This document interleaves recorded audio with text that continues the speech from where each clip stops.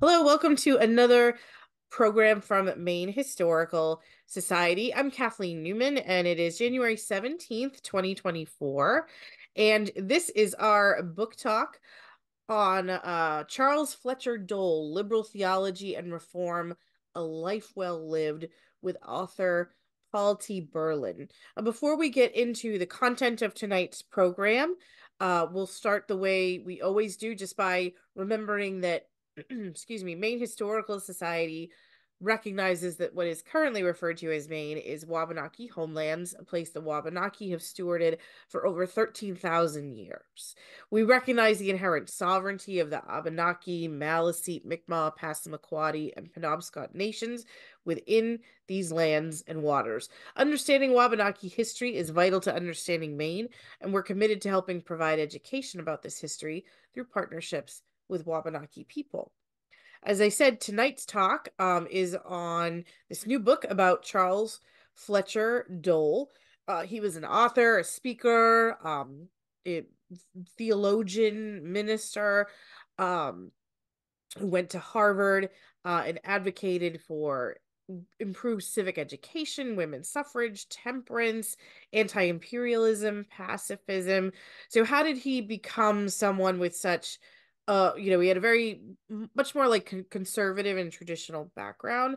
So how did he come to this radical intellectual and theological journey? So that's what our guest um paul is here to talk about this evening. Paul t. Burlin is professor emeritus of history at the university of new england where he taught for 27 years. He was founding chair of the Department of History, and his first book, Imperial Maine and Hawaii, was published in 2006 and traced and interpreted the roles of 19th century Mainers who helped first colonize and then annex the islands. In 2012, he co edited The Role of the American Board in the World, a volume which elucidated the 200 year history of the Congregational Church's missionary organization. Uh, Paul has an AB in philosophy from Heidelberg College and a PhD in American history from Rutgers. Paul, thank you so much for joining us this evening. Well, thank you, and thank uh, the people who are attending on this cold night in Maine. Um, so the picture that you see before you is uh, the Reverend Charles Fletcher Dole, subject of my book. And um, this picture, I don't know, I don't have a precise date for it, but I found it in a Boston newspaper in 1901. So probably around the turn of the 20th century. So he was probably around in mid 50s at that point. And at that point, he was at the absolute pinnacle of his um, uh, his public persona and presence, even though he would continue to be very publicly engaged for the rest of his life.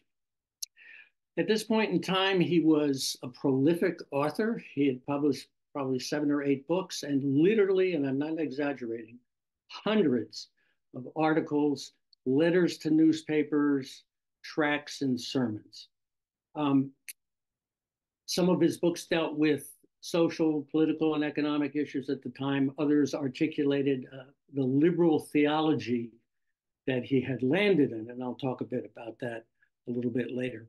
He was also uh, president of the 20th Century Club in Boston. He was president of it for 13 years. It was probably the, and he helped found it in the, in the 1890s, probably the most high profile um, organization in Boston at the time to bring together leading intellectuals, artists, politicians to talk about the, the burning issues of the day. Um, as I'll talk about later, he was an anti-imperialist and he went to had a, a, an audience with William McKinley in the Oval Office to try to persuade him not to go to war with Spain. Of course, he wasn't successful in that regard. My point was he had a very high profile at the time, and uh, was engaged in civic education. His book, The American Citizen, which first published in 1891, sold over 100,000 copies and was adopted by school systems throughout the country.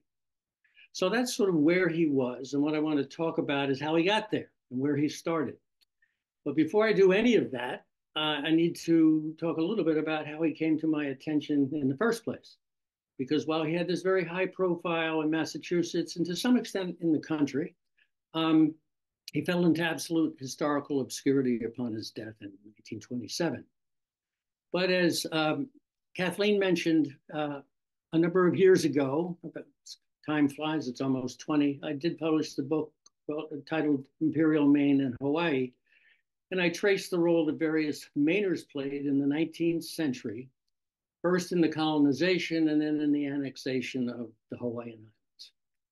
And in the process of doing that, I ran across the Dole family for the first time. And here is Daniel Dole, who was Charles's uncle, who went in 1840 to Hawaii with his wife, Emily Ballard, and he was a missionary there for the rest of his life. So that was, and I talked about other Mainers that played different roles.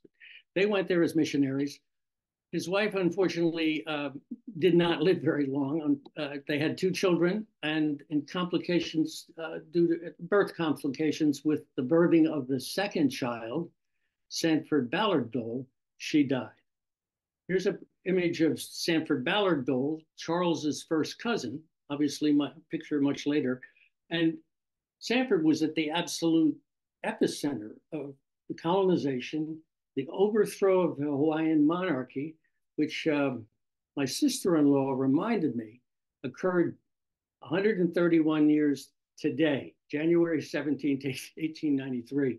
So it's pretty fitting to be talking about Doles today. In any case, he was involved with that. Charles, on the other hand, had no direct role in Hawaii, but I, I bumped into him when I was doing the research on the Doles.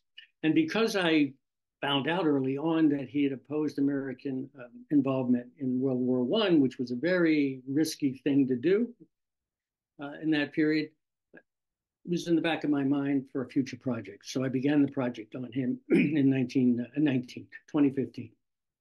In any case, let's proceed on, on Charles. So here's an image of Nathan Dole, Charles's father, and Carolyn Fletcher Dole, his mother.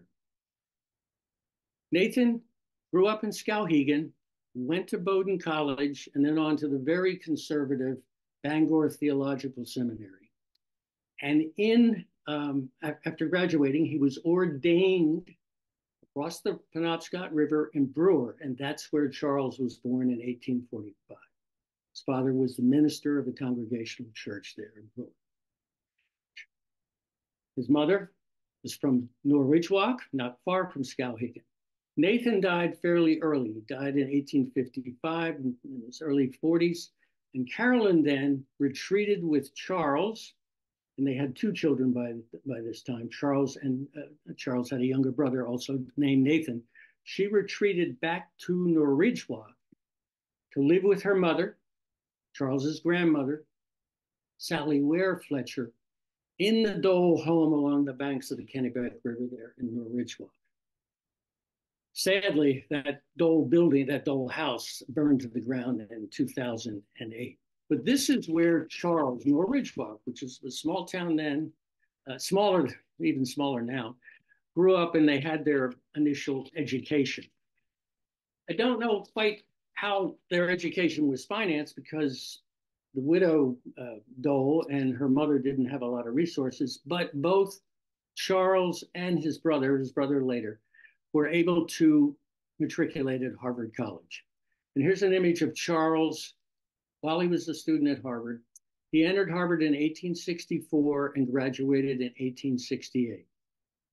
He had a stellar academic career, was second in his class and graduated summa cum laude. And I'll come back to that a little bit a little bit later.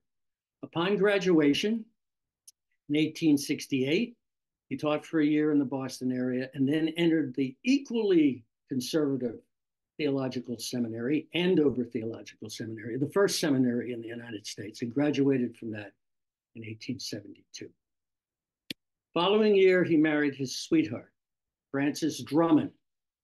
Frances's father, James Dr Drummond, was born and grew up in Bristol, Maine. He also went to Bowdoin and was actually Nathan Dole's roommate at Bowdoin. And then he and Nathan both went on to Bangor Theological Seminary. When they graduated and Nathan went to Brewer, James went to Lewiston, and that's where Frances was born in 1846. They were married in Brunswick, Maine in 1873. And in that same year, Charles received a call to the Plymouth Congregational Church, shown here in Portland, Maine. No longer exists. I'm not sure exactly where in Portland it was. I believe it was along Congress Street, sort of in the vicinity of where the Portland Museum of Art is now. But in any case, it was minister there from 1873 to 1876. And during that short tenure, he and Frances established a family tradition that they would adhere to for the rest of their lives. And that was taking their vacations down on Mount Desert Island. And in the summer of 1875, they went, took their vacation in Bar Harbor. And it was custom at that time. Bar Harbor was becoming a, a summer colony for the, the, the elites along the eastern seaboard. And it was customary at that time for vacationing clergy, if they were inclined, to preach at this little church, this non denominational church. It was called the White Church or the Union Church in Bar Harbor. And in the summer of 1875, Charles did just that. And it so happened that several of the attendees that day were parishioners of the First Congregational Society of Jamaica Plains, the neighborhood of Boston, a Unitarian church. And they must have been impressed by what they heard that summer Sunday in Bar Harbor because the very next year, Charles got an invite to travel to Jamaica Plain and preach at this church. Church, this church still stands. And he did that, and he got a call, uh, an invitation to become their minister, which he did. He began ministry there in 1876, and he continued to be their minister for 40 years until 1916 when he retired. He then um, was granted emeritus status, which he enjoyed uh, for the next 11 years of his life dying at the family home in Jamaica Plain in 1927. While Charles and Frances were, well, they spent their lives essentially in Jamaica Plains, but summered every year in uh, on Mount Desert Island. They built a cottage um, in Southwest Harbor, which unfortunately was demolished some years ago, quite a few years ago. In any case, while they were in Jamaica Plain, they raised a family. They had four children. Daughter, their first daughter died in infancy. And then they had, this is their uh, image of their first son, James Dole and Charles. James was born in 1877, so mm, it looks to be about three years old. So this is probably 1880, and Charles is in his mid 30s. They subsequently had two other children. The young girl here who uh, is standing was Winifred Dole, who went on to marry Horace Mann III, the grandson of the Horace Mann of Massachusetts reform fame. And then the little boy in the uh, chair, their last son, who went to sea as a common seaman in, um, when he was 16, and sadly contracted some sort of disease when they docked in China. And on the return voyage, his maiden voyage, his return voyage to San Francisco, he died and was buried at sea. But very, very sad uh, for the family. Here's an image of Frances and James when James was a little older, I don't know, 10 or 11 here. And here's a picture of James probably in the 1930s. And guess what? He has a lei around his neck. This is a picture in Honolulu because in 1899, James left Southwest Harbor, where he had summered with his family, and went off to Hawaii. And two years later, founded the Dole Pineapple Plantation, which ultimately grew into, of course, the Dole Fruit Company. A little bit more on that later. And here's a few pictures of Frances, and then this last picture of Charles is probably during the last, probably the last year of his life. Okay, let's go back to this picture. Now, I love this picture. If you, I'll tell you, it's symbolic to me. If you look at this business, Daniel, again, who went off to Hawaii as be a missionary if you sense from this picture that this individual was pretty tightly wound, you're on the money.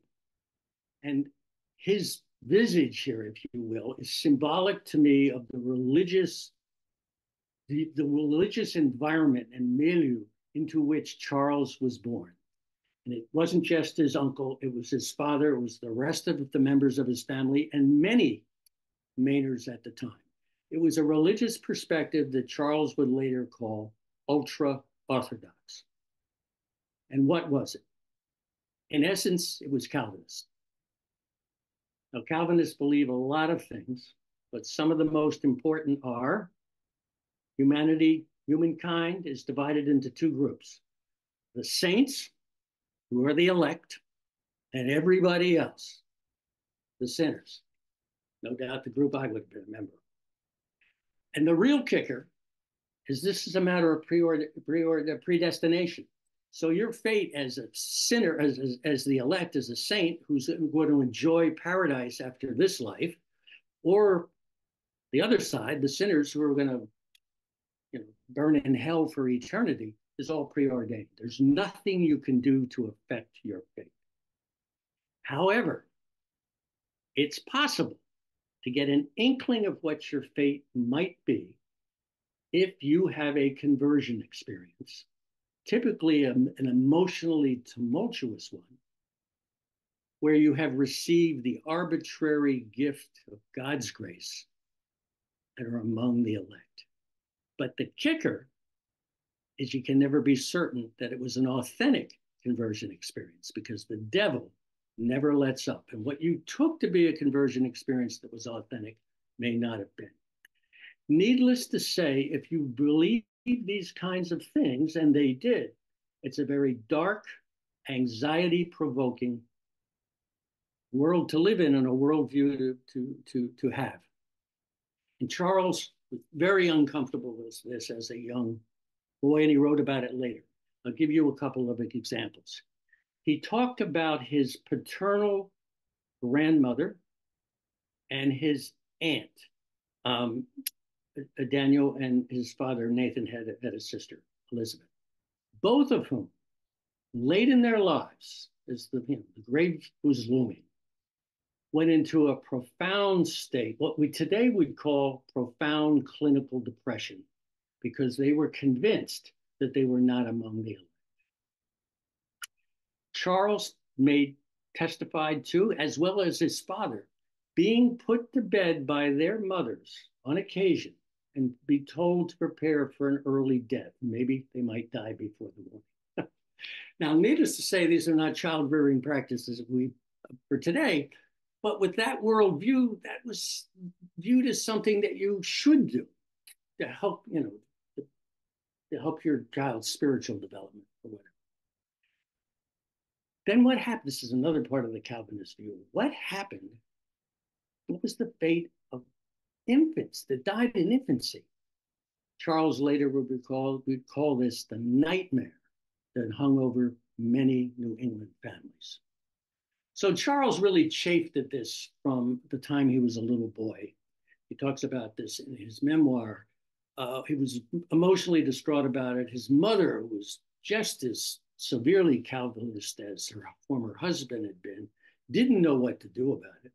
And she would admonish him and tell him to go off into the Norridgewock Cemetery between church services on Sunday, reflect on the gravestones and reflect on his fate and what, where he stood with God, etc.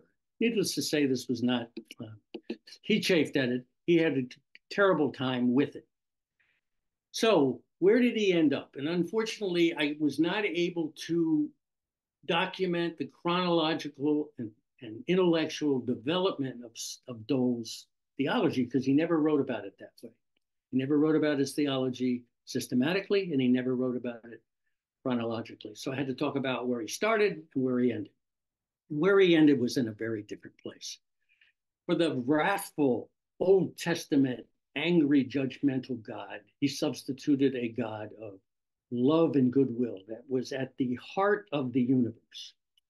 And Dole often talked about the universe being divine. And he believed that God had a plan for humanity. And that plan was one from evolution from barbarism and pestilence and warfare to a spiritually and morally and civilizationally superior state. And it was the moral obligation of someone to align their wills with God's wills to move that progression along.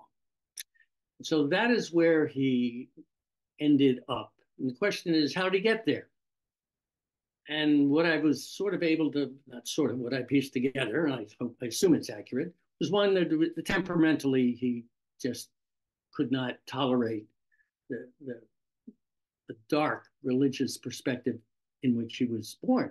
But he commented on the fact that it didn't affect his younger brother at all. He was not affected emotionally at all by this dark view. Secondly, you know, when you went off to Cambridge in Massachusetts, you went into the epicenter of religious liberalism at the time. Unitarians had, you know, bubbled up in the late 18th century. They'd taken over Harvard by 1808. They founded their uh, uh, association in 1825. So that's where religious theological liberalism was.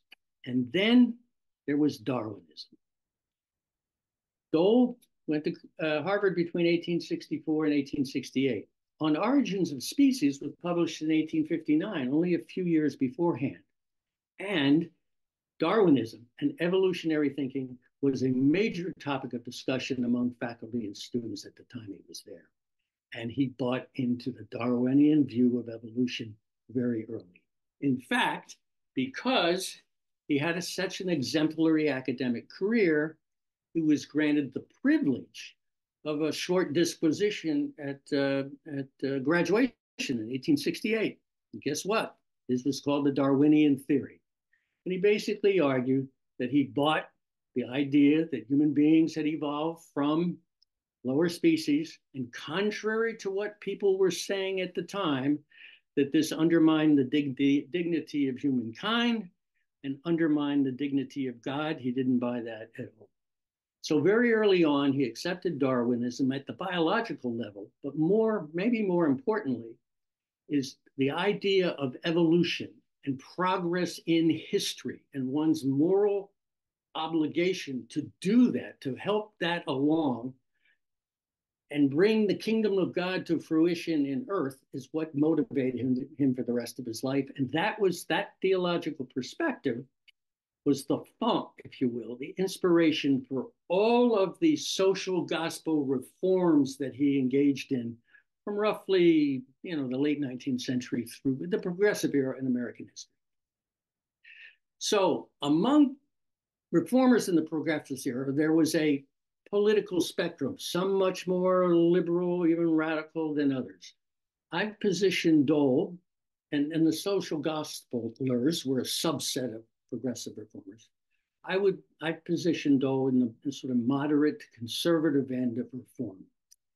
The left wing of social gospel was uh, Christian socialism, and Dole never stopped writing in opposition to socialism. In fact, he was still writing about it in the last year of his life.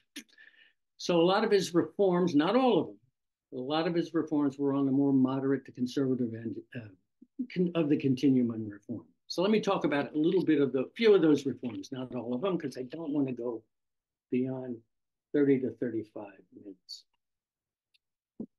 Civic education. I told you he had this one book. He wrote several books uh, for basically civics textbooks for public schools. Um,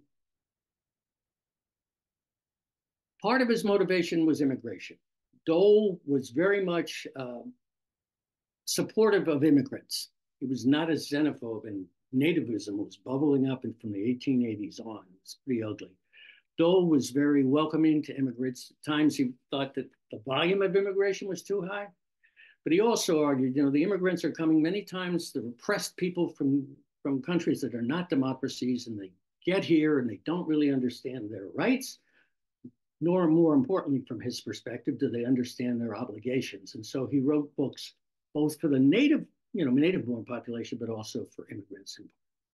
So that was education to him was, you know, education was the the, the his his default place for reform.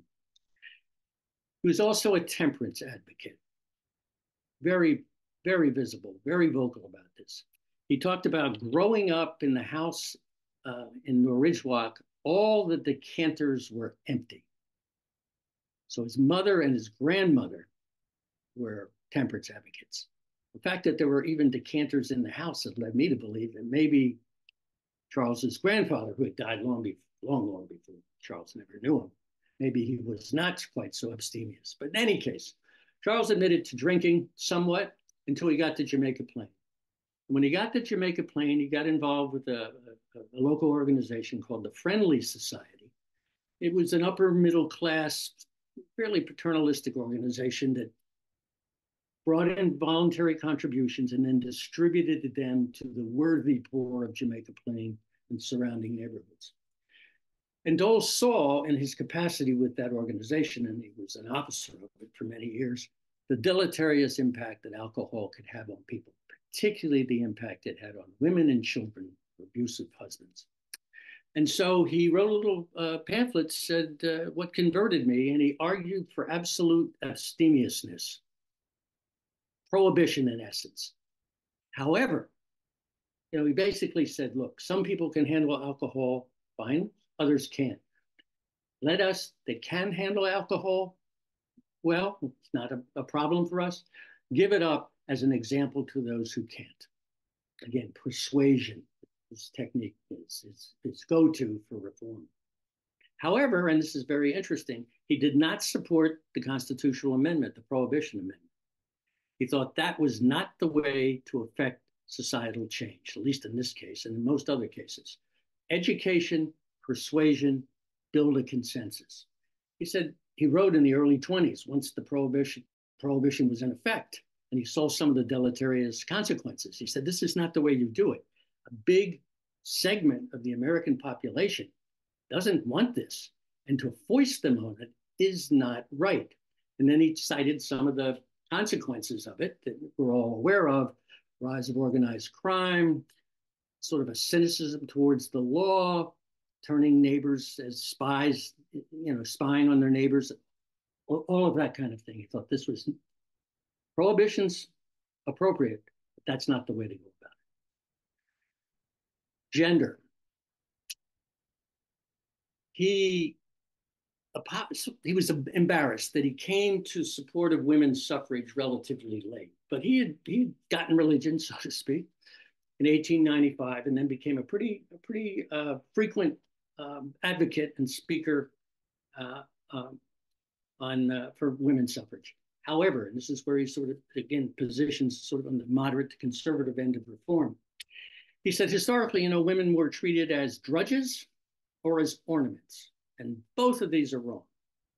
And he lauded the fact that you know, he, he, wrote a, a, a small book about this whole issue in 1900, lauded the fact that women were getting opportunities to go to college and university and venturing into some occupations outside the home, etc. But he really thought that, and he said this very explicitly, for most women, probably the best role is in the home as a mother, or if stepping outside, the nurturing professions. Now, this is interesting because, as president of the 20th Century Club, he rubbed shoulders with a good number of young women who were not being bound by those constraints. Most significantly was Emily Greene Balch. Now, Emily was a little girl when he took over this the um, the church in Jamaica Plain, and she was a parishioner of his all the way up through, you know, until she went off to college. She went off and graduated in the first class at Bryn Mawr then went to graduate school and earned a PhD and became an economics professor in, at Wesleyan. In 1946, long after Dole had died, she was the second woman to be awarded the Nobel Peace Prize. She referred to Dole as my mentor and inspiration. However, for Dole, this kind of model of what women do was more the exception than the rule. So he was ambivalent at best about the gender currents that he experienced. Thought that women should have more opportunities, but there was a major qualifications, caveats, if you will. Race. Sometime in the 1880s, Dole made the acquaintance of Booker T. Washington. Washington's founded Tuskegee Institute in July 4th, actually, July 4th, 1881. And he would come up north to, you know, hit up um, philanthropists to support his school. And at some point in the 18, 18 early 18, late 1880s, early 1890s, made Dole's acquaintance. Dole didn't have a lot of money to give himself. He was comfortably upper middle class, but he rubbed shoulders with lots of people who could contribute significantly to Tuskegee Institute. And so he went on the board of Tuskegee in 1893 and stayed on it for 20 years. But Dole also had a relationship with W.E.B. Du Bois. He had both Booker T. Washington speak at the 20th Century Club and Du Bois speak at the 20th Century Club. And Du Bois and Washington were at loggerheads over the methods by which Af African Americans should pursue to improve their status to get the full rights of citizenship. Booker T. Washington focused on manual and industrial education exclusively in his school. Du Bois was an advocate for higher education, university and college education for a segment of, of African American population. In fact, he wrote a very famous pamphlet to, targeted directly at Washington called The Talented Tenth. He basically said African Americans have to, some segment has to go to college and university. There's no pool of instructors to draw on for your very school. They were at loggerheads, where Booker T. Washington would not challenge the political structures, economic political structures in the South. Du Bois was much more militant. Dole had a good relationship with both. Du Bois at one point said he loved and admired Dole. However, in 1914, they had a somewhat of an ugly dust up in the pages of the Crisis. Crisis was the um, publication of the NAACP in those days, and Du Bois was uh, the editor. I won't get into the details of the, of the disagreement, but essentially, Du Bois said, Dole is naive. He thinks his ethic of goodwill. So Dole always believed if you conducted yourself in goodwill towards anyone, the result would be a reciprocal response. And Du Bois said, you know, that's probably true in a lot of areas in the South, it's not true in the South with the racist white power structure there. So they had a real disagreement, and uh, I think in the paper, in the paper, Dole would respond, and Du Bois would write back, and it was um, I think a, Dole pretty much went silence on race, silent on race after that. I think his feelings actually were, were hurt. But again, here's an example of he, he was very interested in improving the circumstances of African Americans, but was much more closely aligned to Booker T. Washington than he was to Du Bois. Where he was less conservative was in the issue of foreign policy. He was a vociferous anti imperialist. I mentioned how he had gone to see McKinley personally to try to stave off the Spanish American War. And he despised the American empire that was constructed, constructed in the wake of that war, specifically the grisly guerrilla war that the US prosecuted against the Filipinos in colonizing those islands. He was constantly speaking on stages, writing against this awful endeavor by the United States. But there's a little qualification in here too, and that was Hawaii. Hawaii was annexed in the wake of the Spanish American War. And he was, Dole, Hawaii was a conundrum for, for Dole. He claimed that he opposed what his first cousin did, overthrowing the Hawaiian monarchy. But he never said anything at the time publicly because he would he had a very uh, a high sense of decorum. He would never have embarrassed his first cousin in public. But later he wrote that he had disagreed with him. But his disagreement, again, there was a qualification here. What he seems, as I dug into it, what I think he disagreed with was not that the Hawaiian monarchy was replaced, but the way it was replaced. It was through a revolution, albeit a bloodless, bloodless revolution. But he would have preferred that there had been a broad based discussion in Honolulu with all the various factions there to come up with a consensus to replace what Dole did call Charles now, not Sanford, Dole called the preposterous Hawaiian native monarchy. So he, he thought the, the monarchy should be replaced. He disagreed with the means by which his cousin did it. So that's a fairly qualified portrait of a anti-imperialist. Lastly, and I only have a few more minutes because I don't allow time for questions, there was no qualifications on his views on World War One. He was uh, a categorical, became a categorical pacifist. Um, he was a member of and an officer of the Massachusetts Peace Society and the American Peace Society. And in June of 1915, just a month after the Germans had sunk the Lusitania, there was a movement in the United States under the rubric of preparedness. TR is running around. Not this was when TR really went off the rails, um, calling for enhancing the military budget, which Dole had always opposed, and military training for boys in public schools, etc.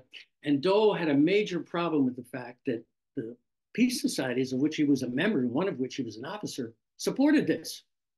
And he wrote a scathing pamphlet. Basically, what good is a peace society that's only for peace in times of peace? And so he looked around for um, a, a, a, peace society that was categorically opposed to war, and he couldn't find one. So he founded his own in 1915, the Association to Abolish War. And throughout the war, opposed Americans' involvement in it, you know, up to Americans' involvement, and then he opposed the war, and then Americans' involvement in it.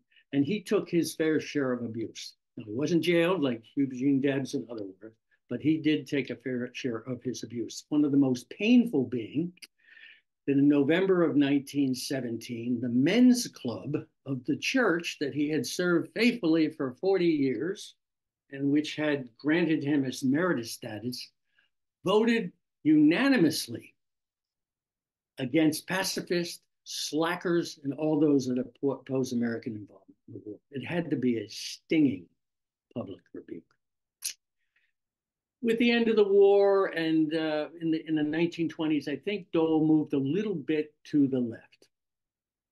He advocated for a second trial for Sacco and Vanzetti when Margaret Sanger was denied uh, by the mayor of Boston uh, the right to speak on birth control from a, from Boston from a public uh, city facility.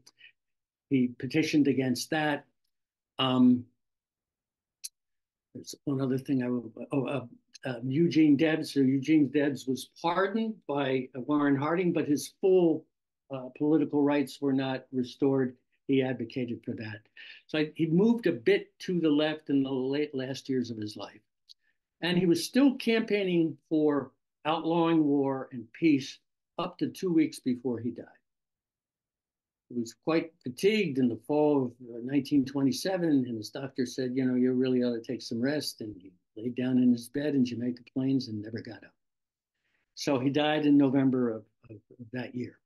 Quickly, why do I think, why did I add that little subtitle, A Life Well Lived? Well, I think you may have gleaned, I'm not, I was, I'm, my, this book is not uncritical of Dole, but on balance, I think he lived quite an exemplary life. His consistent public engagement to improve the world as he saw it, and his vision of that was, of course, qualified, all, of us. And his emphasis on civic discourse and uh, uh, collegial engagement with those that you disagree with, even when you're being abused for your opposition for World War I. Something is, you know, look around today, read the New York Times, it's severely lacking. And so, you know, on balance, I think he lived a life that uh, was exemplary, and there were more. If there were more like him, uh, we might be well better today. I'll leave it at that. Thank you very much. Thank you, Paul. Um, that was really interesting. And we're getting some questions from the audience, but I wanted to start off the questions with so this individual, in a lot of ways, you know, so ahead of his time, um, connected to a lot of interesting uh people and interesting ideas. Why is it that someone like myself had never heard of him until your You know, book was that's a published. yeah, it's a good it's a good question. I mean, he fell in total. You know, I feel like I resurrected him. Um, and this book is largely a, a book of historical recovery. Well, I suspect it's because you know he was a Unitarian minister, and I really haven't talked Mm. about you know, that that much.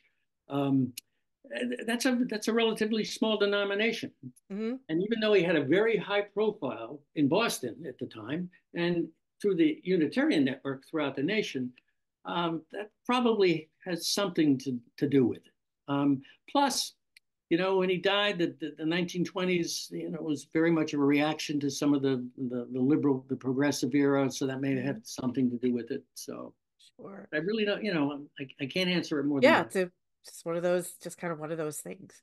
And actually, someone's asking, can you say more about how he moved from his Calvinist past to Unitarianism? Was he influenced by Transcendentalism at all? Or Yeah, no, he yeah, so he was. I mean, he was a big fan of Emerson. And um, so the the Unitarians, um, uh, you know, they they they didn't believe in the first of all they didn't didn't believe in the Trinity and they didn't believe in the divinity of of, of Jesus and and Dole certainly agreed with that. But the Unitarians had a split in the 1860s. Um, some continued under the Christian mantle, and others tacked off and formed something called the Free Religious Society, which would have no creed whatsoever, was uh, not Christian, et cetera. And Dole eventually joined that organization later, much later, and actually he was an officer in that. Um, no, he was uh, definitely influenced by um, the Transcendentalist, and you know, their Emerson's tack uh, and other was that the church got it wrong very early on the message was Jesus had a message. That was the story. But they ended up shifting the focus onto Jesus himself and his divinity, etc. And that was a huge mistake. And Dole didn't say those things exactly, but clearly agreed as well. And he was very um, open to ecumenical. He wanted a, he didn't like denominational lines. He wanted a broad church that included anybody of goodwill, including atheists and agnostics, in a church to, to worship if they felt like they should could worship, and it didn't matter who they worshiped. He thought somebody who was a Buddhist was on the same plane, a devout Buddhist on the same plane as a Christian, same plane as a Unitarian. So he had a very um, so I don't know if that answers your question or or the the, uh, the attendance uh, Mhm. question or not. But no, he was influenced by the Transcendentalists definitely. And that free religious society that, that, broke off in the Unitarians, the first subscription, first subscriber to that organization was Ralph Waldo Emerson. Mm. Someone else is asking Dole wrote of progress not going in a straight line, um, but that justice and goodwill would prevail over, quote, self centered individualism people were coming to understand that kindness or good is the mightiest force in the world. Does this thinking link up in some way um, with what later uh, leaders, teachers like Gandhi, Martin Luther King, um, are they kind of are they drawing on him at all? Um, that's a good question. I don't think so because he found, he fell into such um, historical obscurity after he died. Mm. When he died, interestingly though, another Unitarian minister who was a world peace advocate and a strong supporter of independence for India referred to Dole as America's Gandhi. Oh, wow. That is interesting. The same person's also asking Can you comment on Dole's poem Baker's Island? Well, so that's a poem he wrote um, I stumbled across it at Harvard Divinity School, and it had no date on it, but it clearly was written by a man, an older man, because he's talking about it, you know, not being too far from from death. And then I found a copy of it with a date on it at, in a, a museum in Honolulu, and um, I included it as, a, as an afterthought um, because uh, this book became is an academic uh, exercise, and it's a it's a rigorously academic book. But given my age, um, it resonated for me, and uh, it's a it's an older man reflecting back on what life means and what his life has meant, and what he might be looking forward to. He he he he delivered the Ingersoll lecture in 1906, and the Ingersoll lecture series still exists. It's at Harvard, and it's on immortality. And he wrote about immortality, but the title of the thing was "The Hope for Immortality." He, had, he was not certain that, that it was there, and so he's grappling with that. So I thought it was um, it humanized him maybe more than the rest of my book had. Mm. And a friend of mine and I visited Baker's Island this um, this uh, summer and looked perhaps the ledge that he wrote this poem supposedly from. It's a part of uh, Acadia National Park now, and you can take a tour out. It's a it's a beautiful poem, and he alludes to. And what's interesting, so it was published in September. he wrote it. The one I found that was dated was September of 1917. So the U.S. is only in the war mm. five or six months. We went we went in in April there's a reference in that poem to, you know, me in great disesteem by the angry world at this point.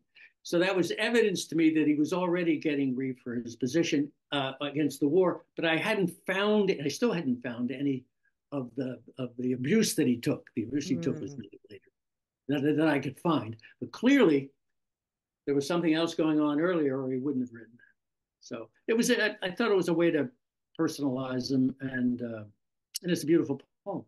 Sure. Someone else is asking, and you touched on this a, a little bit in your talk. Um, did you come across anything that would enlighten us about his attitudes um, towards indigenous peoples, Native Americans? That's a good or, question. Or non-European immigrants, like people people from China or Japan, or well, yeah, you know, he was appalled by the treatment of, of the of the Chinese.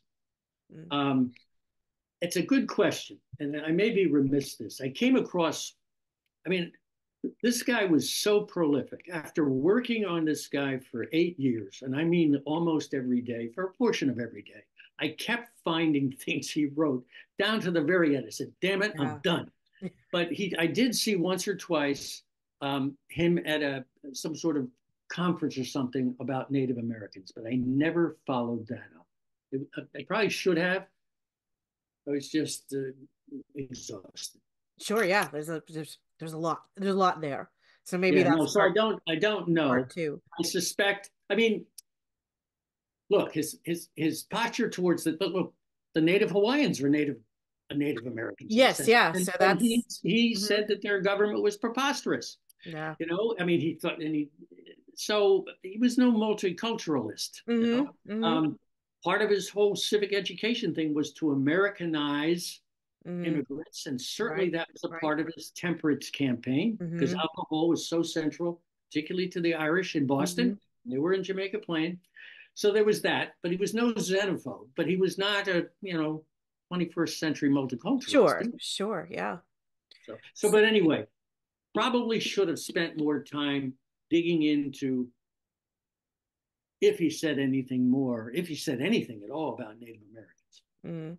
I suspect, I suspect he would have probably, this is just a guess, been okay with the schooling, you know, the Native Americans were taking. Right, right. He mm-hmm. would have been okay with that. I don't know. Yeah. Well, I think at the time there were a lot of folks that saw that as a progressive they did thing. They um, did. But to you know, today Oh no, no, absolutely. Not, yeah, not a, not I mean, you opened up your the, the, this thing with yeah, right, right. very different. You have a de- very different view. Right. You know, he's not a not a he's not a 21st century multiple. No, no.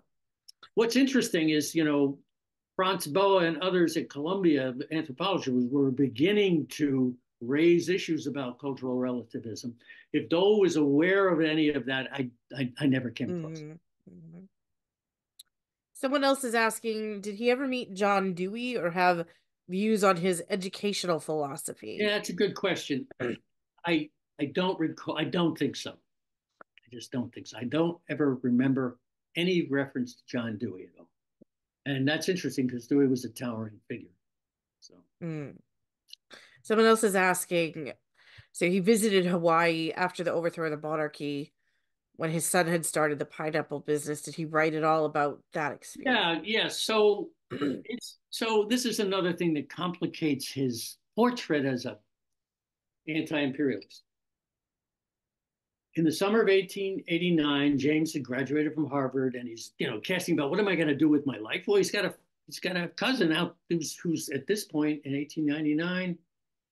He's uh, he's um, about to be appointed territorial governor of, of Hawaii.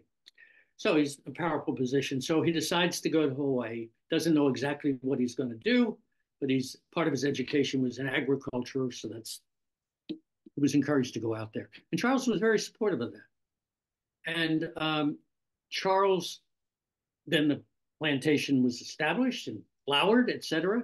And Charles never, ever wrote, and so far as I know, saw any problem with that. Mm. He was always a support. He was the proud, supportive father. And later, when he would, they would go frequently. He and Frances, once Charles retired, they'd go to Hawaii to visit, you know, their son and their his growing family. They had he and his wife had done five or six kids. At one point, Dole wrote about the good that the missionaries had done in Hawaii. Now that is, you know, again, that's something that really jars with our contemporary sensibilities. Right. But even at that time, that would have really flown in the face of Native Hawaiian perspectives. Mm. So you know, it's um, it's it's a uh, I've written about him in a he, he's a complicated uh, figure. Was, sure, was not, sure. So anyway, yes. So he continued to go to Hawaii, and um, even though he didn't like the way his cousin had handled the situation, on balance, he was favorable to what subsequently. Mm. And the pineapple plantation, as sugar had done before, utterly transformed the economy and the ecology of the islands. Mm. Is, is totally Dole is totally tone deaf to anything that remotely approaches cultural imperialism. Sure. Didn't sure. His main thing, I think, with imperialism was the violence associated. Yes. Yeah. Yeah. Someone else uh, asks so he was an active participant in what was later known as the Hancock County Conferences, which were held in August. So we're talking about Hancock County, Maine. So that's down, that's Mount Desert Island is in, in Hancock County. So does your research touch upon his activity? Like if someone reads this book, do you talk no, about No, not not much. I no. mean, I know. So they summered every, you know, every pretty much every year on at their cottage in Southwest Harbor. Um, he would preach there. He was engaged in some other activities there. That's about all I know about mm. it. No, nobody. He was also a, uh, he was an act, an active outdoors person. There was a trail that went from the the uh, the the water the, the, the water line up over what uh, was then called Dog Mountain. It was called the Dole Trail, and he was involved in some outdoor activities there. He preached there, but other than that, I don't know much about his activities. Mm. Do does anything survive um from his wife? Did she write about their lives, their, but, their you know, I, not much. No, I that was one of my major frustrations. She would yeah. appear sometimes at events that he was at. Pretty much, um, no, it, it was. I kept looking. Um, you know, she was the dutiful preacher's wife, and she was mm-hmm. engaged to some extent. There was a club in in, uh, in um, civically engaged club called the Tuesday Club in in um, Jamaica Plain, but I didn't find much. Yeah, yeah, it's too bad. Well, yeah. thank you again. We're we're approaching the end of our time together. Um, thank you so much. This was again a really interesting uh talk on someone that I'm curious to learn more about. And if folks, if you're interested in the book, I've shared the link again where you can purchase a copy. So thank you again, uh, Paul, and thank you to our audience for joining us. And I hope we see everybody back here soon. It was a pleasure. Thank you very much. Thank you.